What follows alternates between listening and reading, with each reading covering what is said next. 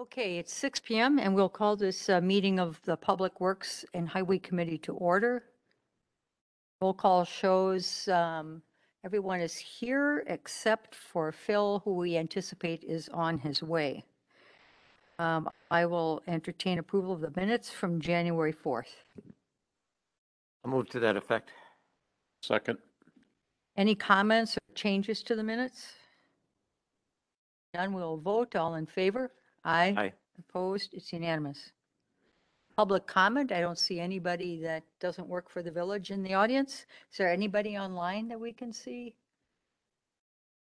Nobody online? Nobody's online? Okay, then we'll move on to new business. New business A, Recycling Center Wheel Loader Bid Tab.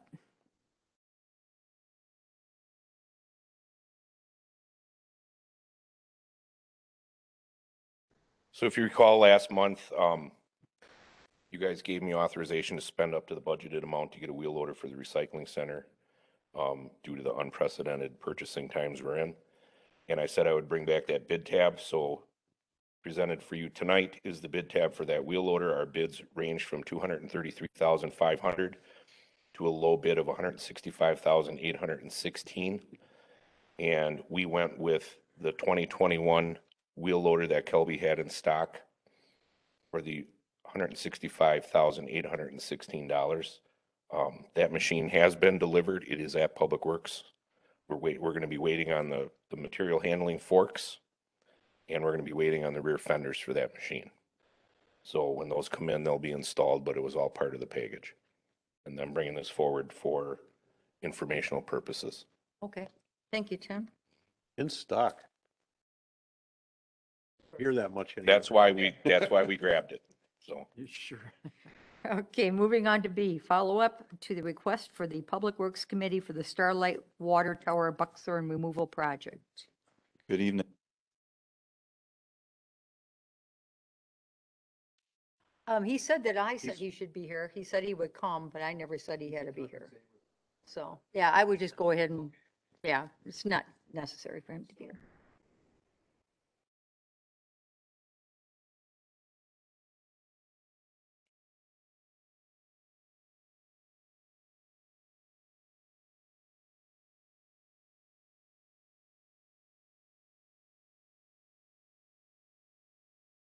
Thank you. Sorry. Uh, We we are estimating a cost of 25,000 for the last two phases, which consist of regrading topsoil and mulch along with uh, replanting trees. In the approved budget, under account 5742, 530, 6710, maintenance of structures, there is an account balance of $30,000. There's also funds in account 50, 742, 530, 6720, maintenance of distribution reservoirs in the amount of $680,000. Also attached are the current photos showing what was done on phases one and two. Who's doing the work again, Paul? You? No, no, it's, um,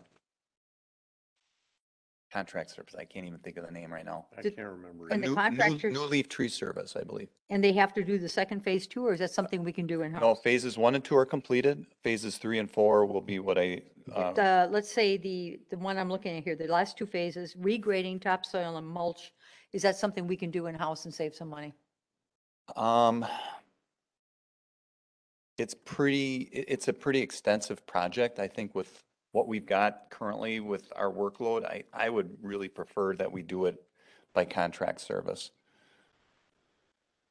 Okay, so tonight you're looking for approval of phases three and four? Correct. And the money, you already have the account that the money is coming from. hmm And we know that we have a great savings in sewer department that we can, fifty-nine thousand dollars. Um, anyway, committee,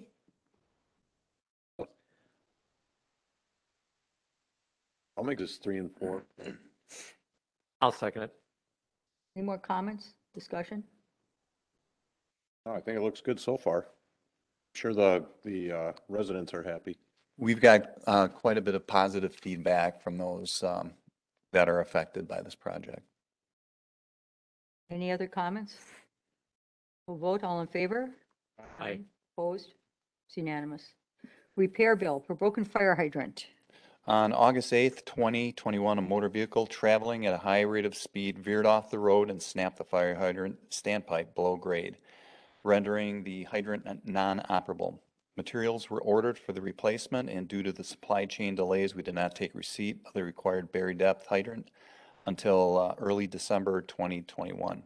This is a pass-through cost to the owner-driver of the motor vehicle. So their insurance is definitely going to pay for this, Paul? We, yes, this is, um, this is kind of a reoccurring thing. Okay, so he has insurance and, They do have insurance, yes. I've already filed a claim with the insurance company, so they're, they, they know it's coming. okay. Maybe not the total yet, but they do know it's coming. It's cheaper than fixing a car. Um, Committee? Yeah, make a motion to approve the repair bill for the broken fire hydrant on Washington Drive. I'll second. More discussion, comments?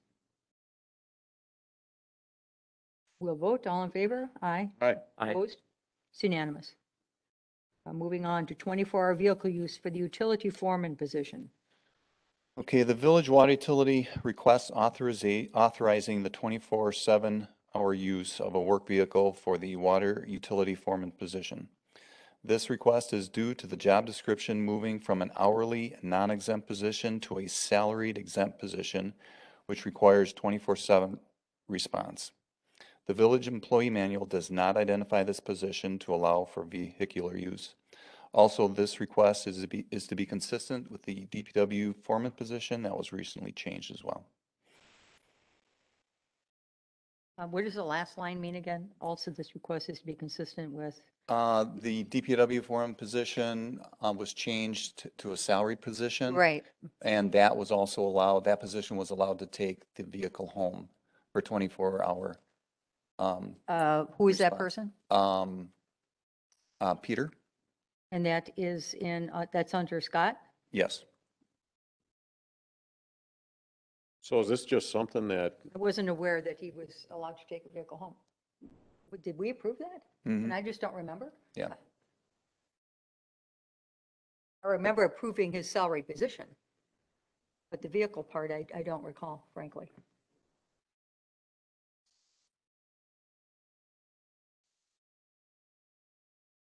The, um, uh, Peter Ledner uh, filled Scott Anderson's position, and Scott Anderson's position was included in the policy as being allowed to take the, the vehicle home.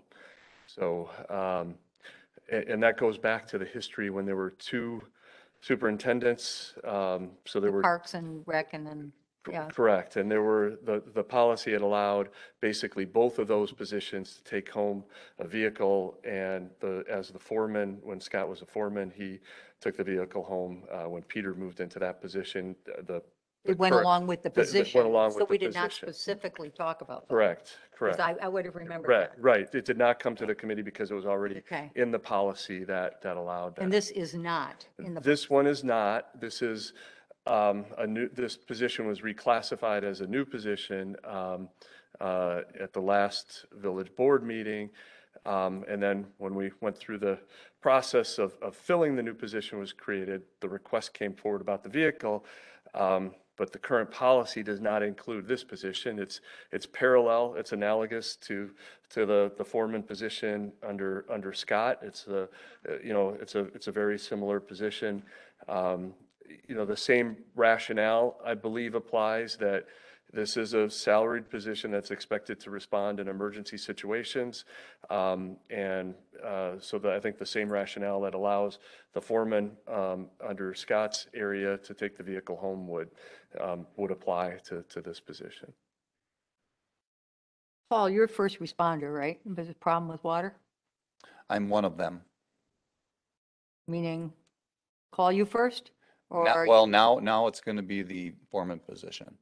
But I still, I mean, we're, we're all part of the team, so when the, when the alarm goes off, we respond.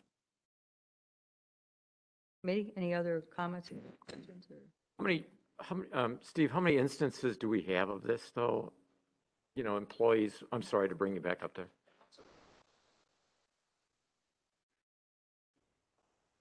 Um, i- There, are- there are a handful of, of position, or positions that are allowed to do this.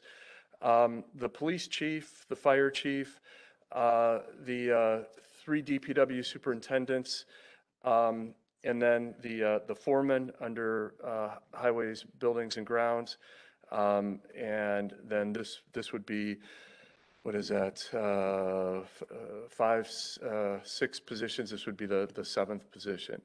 So, and it is, one of the, one of the things that I, I looked to this, actually, I, I had a, um, one of my former students who's now a village administrator asked me this question last week, and I just went back and looked at, like, for example, the IRS guidelines on what they say, and there's actually a specific section that relates to public employees, and this isn't binding for, for villages, but it's just for tax purposes, that, um, it's not considered compensation if you look at the, the style or the type of truck, if it's modified so that it wouldn't typically be used for personal use, um, uh, it wouldn't be amenable for personal use, and the policy has to say it can't be for personal use, um, which our policy says, uh, but it includes like the equipment or tools or things like that that would allow the individual to respond directly to an emergency situation. So that's, um, it, it's not many positions, and, and I don't think it should be expanded.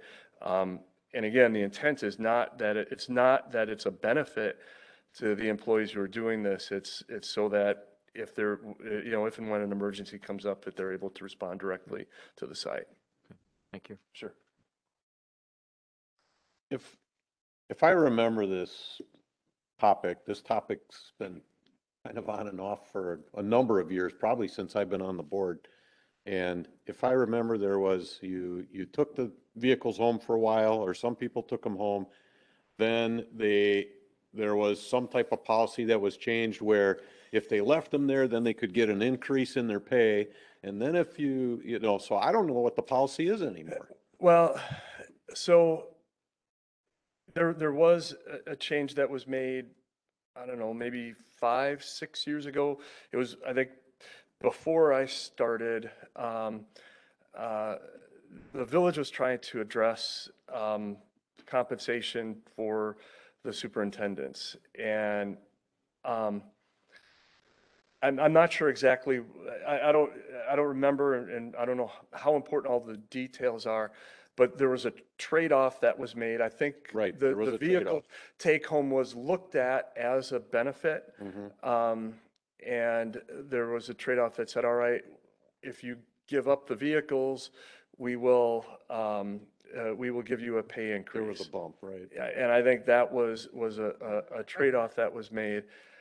I, and I, and I actually think, um, i- i- if, again, if you look at like the IRS guidelines on this, th- what was done, um, it really didn't make a whole lot of sense to me that it, if the purpose of the vehicles is to respond to emergencies, if you're not allowed to use them for personal use, um, if they're equipped with the equipment and stuff that you need in those emergency type situations, then it, it's not, again, it, it should not be looked at as a benefit to the employees. It's something that the village is asking people to do to be able to do their jobs. Um, and, um, again, I think it was, I think it was a trade-off to try to get agreement, um, from, from some of the board, some of the trustees to, um, uh, to go ahead with that, that pay increase. So, my recommendation to the board would be either, if, if we feel this is important for emergency responses, we should have the people take the vehicles home so they're able to, to, to respond, and we should enforce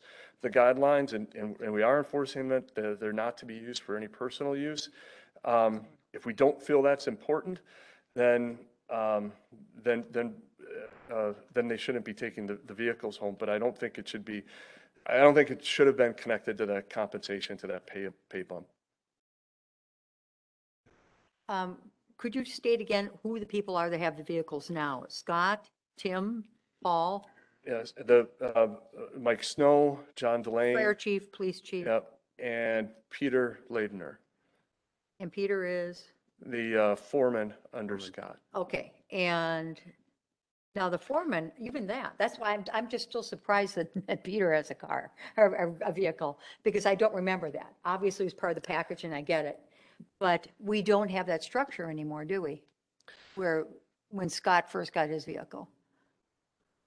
Um, Well, Arguably. uh, I can't, yeah, I don't know what, Yeah. I, I don't know what position Scott was in. I think Scott was in the foreman position Yeah, and was taking the, the vehicle home.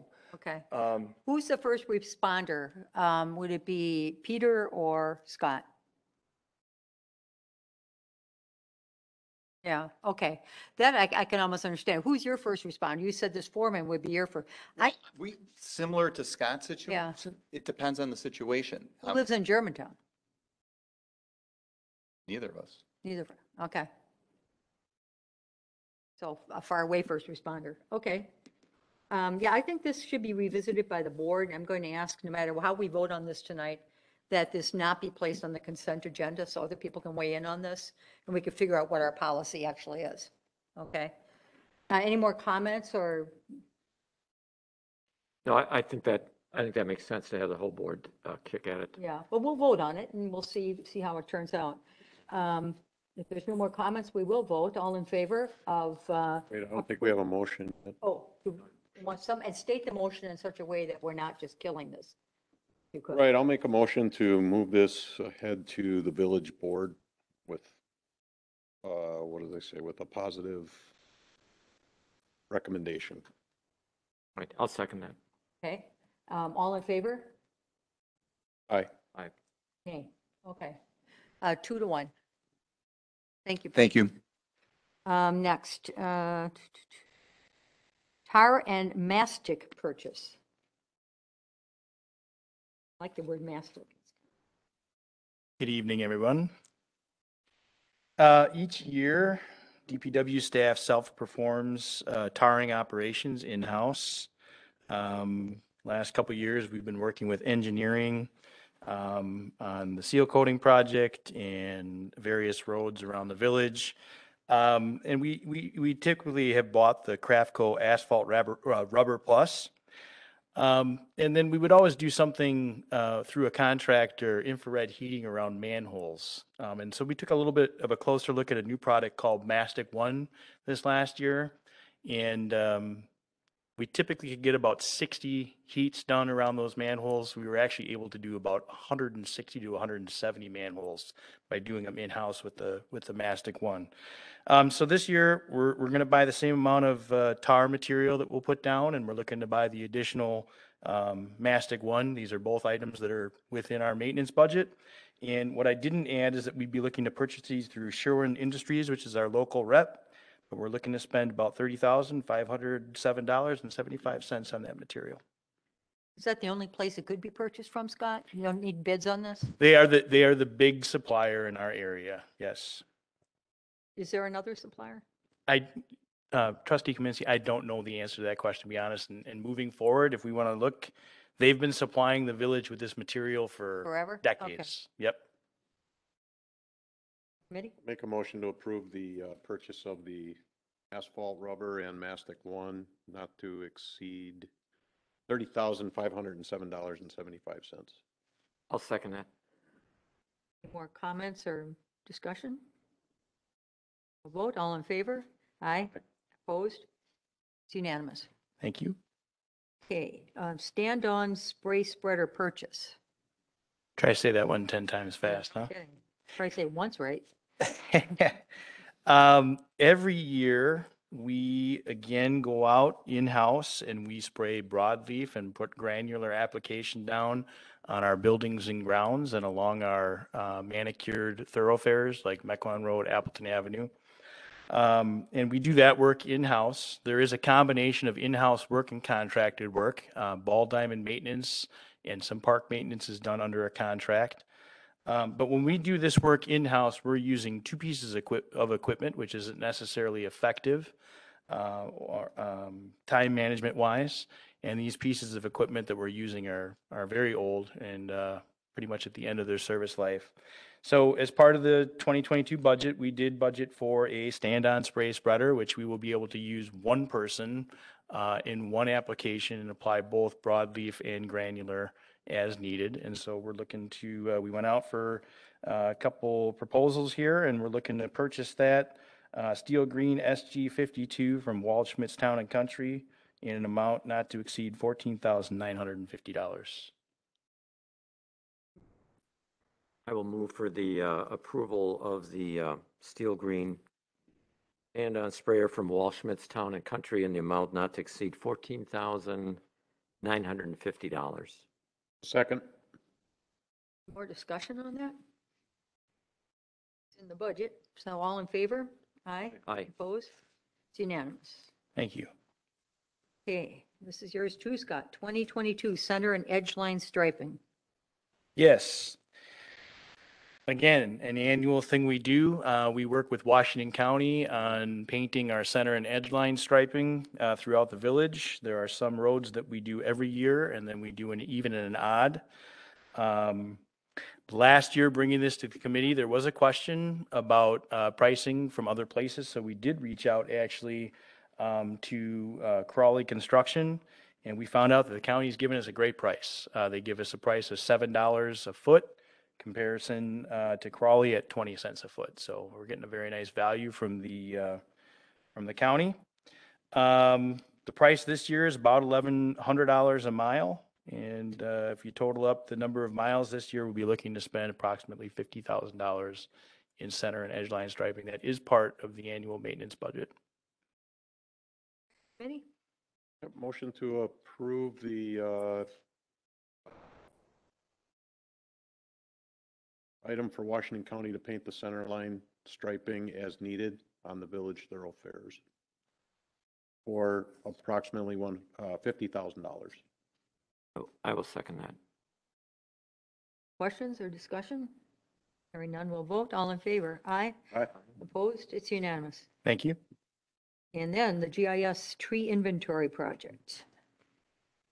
Yeah, we've discussed this a number of times. You may remember that back in uh, October of last year, we talked about applying for a grant, which we made a commitment to do, and that was part of the 2022 budget. Uh, This is the, uh, and and then I I brought to this uh, committee last month that we were awarded that grant. Um, There's a 50% reimbursement upon completion of the items that we need to complete. Um, and one of those is our GIS update. That's the largest portion of this. Um, and so we're looking to bring that forward for official approval with the committee tonight. Um, total for that would be, uh, twenty-two thousand dollars with a fifty percent reimbursement, uh, again, once that's complete. Um, as a quick aside, there, there were again, a few other things. There's a public engagement, uh, there's some training and tree felling and trimming. And, um, those things all have to be completed and submitted one, at one time for the reimbursement. So we've, we've got that plan in place, uh, and we're working through that, but this is just the largest step of it where we're looking to get this approved here tonight. Re- Remind us how often we have to do the uh, inventory? You know, they recommend that we do this every five to seven years, and I think it's been about fifteen or eighteen, if I'm remembering correctly, since the last time we did it. And do they tell us like all the different types of trees we have or what, what's included in the inventory? Yeah, so actually, it's, it's a layer on our GIS system, and when you open the layer, um, it's, it's not every tree in the village, but the areas where Yeah. we've done it, you see the population come up, you can click on a tree, you can see its size, the diameter of the trunk. Uh, there's all kinds of notation for, uh, treatment of emerald ash borer. This is huge for the treatment of emerald ash borer when we bring that forward. Um, it's giving you information about trimming that needs to be done, the last time it was trimmed. Um, it's keeping a rating or a condition of the tree, That's good. um, for Yeah. removal and replacement and that kind of Especially stuff. with all the new ones to keep track of Yep. them. And, and that is another thing, is we remove a tree, it becomes, um, a vacant planting site. And so then a- again, next month, we're going to bring in the spring tree plant, uh, tree planting. And so we're using that layer right now to kind of see what's vacant around, around the village. We still treating a lot of trees or they mostly died at this point? No, actually, we've had a really, really good success rate. Um, that's going to be probably ongoing for a while, but we're still treating a lot of ash trees. Again, that's, that's semi-annually. So there's, again, a system set up in place. Again, Wachtel has just been huge in helping us put that all together and keep that moving. But we're having very good success in keeping the ash population alive. Committee? I would move that we uh, use Wachtel Tree Science to complete the GIS tree layer update um, in the amount not to exceed twenty-two thousand dollars. Second? More discussion? We'll Vote, all in favor? Aye. Aye. Aye. Opposed? It's unanimous. Thank you very much. Thanks, Scott.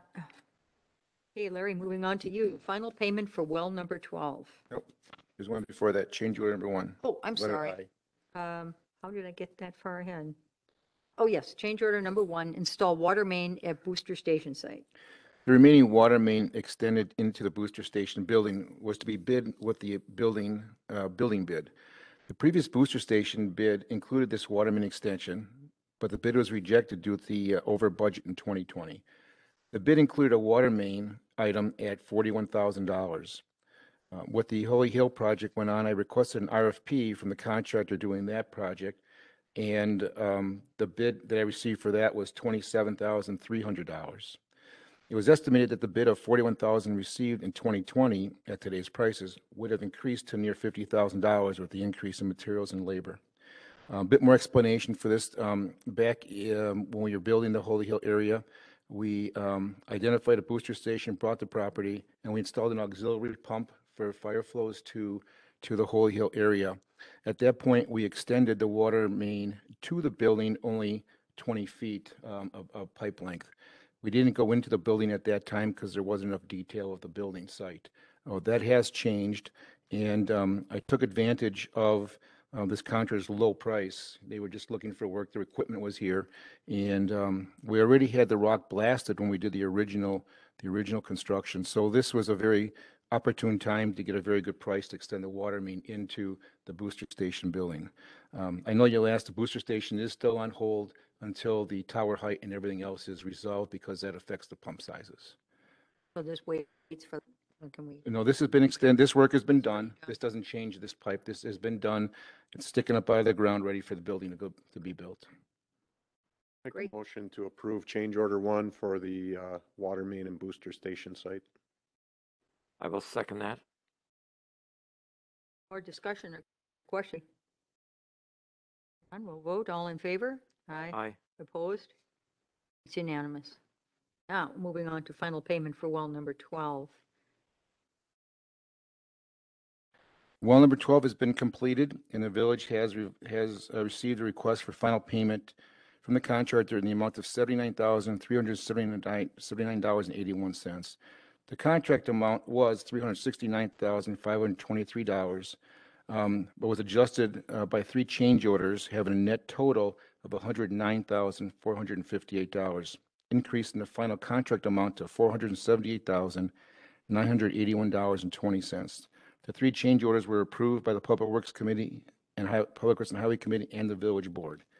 As discussed during the change order approvals, the additional cost was due to increase testing required to determine if this well could be a shallow well and an increased casement sealant of concrete um, per the DNR requirement um, to seal the dolomite rock to ensure separation of the upper and lower aquifers. We're looking for acceptance of the, of the work and um, um, approval to make the final payment.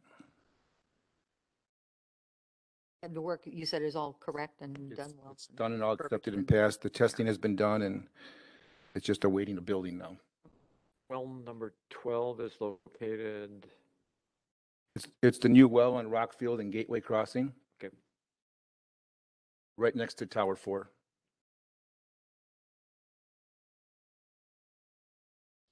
um, I would move to um, approve the final payment for well number 12 in the amount of $79,379.81. Second? Questions about this? Vote, all in favor? Aye. Aye. Opposed? Unanimous. Okay, moving on to new business, reduction of the letter of credit for Kinderberg Estates subdivision. The Veridian Homes developer of Kinderberg Estates subdivision has requested a reduction to the letter of credit. Um, This is the first reduction request. The current value of the letter of credit is one million, two hundred twenty-six thousand, nine hundred ninety-nine dollars. And the developer is requesting a reduction in the amount of one hun- one million, one hundred and one thousand, nine hundred ninety-nine dollars, leaving a remaining amount of a hundred, and- one hundred and twenty-five thousand dollars. The majority of public improvements um, have been completed and accepted. Asphalt surface pavement, minor curb and gutter replacement, and minor punch list items are still remaining. Looking at the values of, um, the, the- in the development agreement for the remaining work, of the um, surface course and approximating how much curb and gutter we feel they're going to have to replace out there when we, when we walk it and, and uh, do the punch list items. Um, I feel that $125,000 is more than enough to cover um, the remaining work to be completed. This is on Country Air, correct? For anybody watching this, this is, Veridian, no, Kinderberg Estates is off of Dodgers Bay by Kinderberg By Park. Kinderberg. okay, then, oh, the controversial one. Mhm. Okay, gotcha, okay. Make a motion to approve the reduction uh, and retain the remaining amount of $125,000. I will second that. Comments or questions? Vote, all in favor? Aye. Opposed? It's unanimous. Way too agreeable. Okay, moving on to projects update. Did anybody uh, on the committee see anything that uh, you have questions about or want to ask Larry about? Just the, um, my wife keeps asking me when the stop signs are going in on, um, Maple and Freistadt. I know they're there. When is the hookup? Is Are they it, going to be the little midget ones or is- or is it? Maple and Freistadt? The No. light, the um, The Traffic lights? traffic lights. traffic lights, yeah. They will be operational Thursday. The little, those Late little morning. lights, little lights. This Thursday? No, that's full lighting. No, there's gonna be, tra- there's gonna be full traffic signal intersection Maple and Freistadt. Okay, but when I drive past there every day, I see the big metal poles on the ground that would look like that these should be over the road, right? And maybe they will be. And I see these little mini Yeah. light stanchions on each corner. So what's been happening is they've been getting materials in, um, kind of piecemeal. And I think as they were getting materials in, they were just installing some of the materials out there to Make it um, look- pass- pacify that some work is being done. It could be miniature lights, Well, isn't cute? We were just notified this morning that the remain, the remainder of materials have been received. And, um, by Thursday, mid-morning, they're saying the intersection will be operational. Wow. It'll, it'll run on four-way red flash for a, a week or two Mm-hmm. and then go to full operation. Anything else we want to pull out of here and ask about?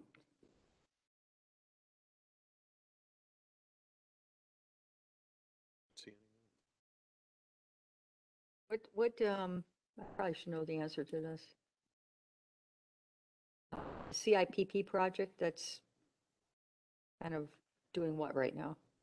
Um, It's in the um, stages of trying to get approvals for some, some easements um, to cross um, Waste Management's property for bypass pumping, and we're working with MMSD and the DOT uh, to gain access to, um, again, with the bypass pumping, to gain access to go through a culvert for the DOT and an outfall location for the sewage for MMSD.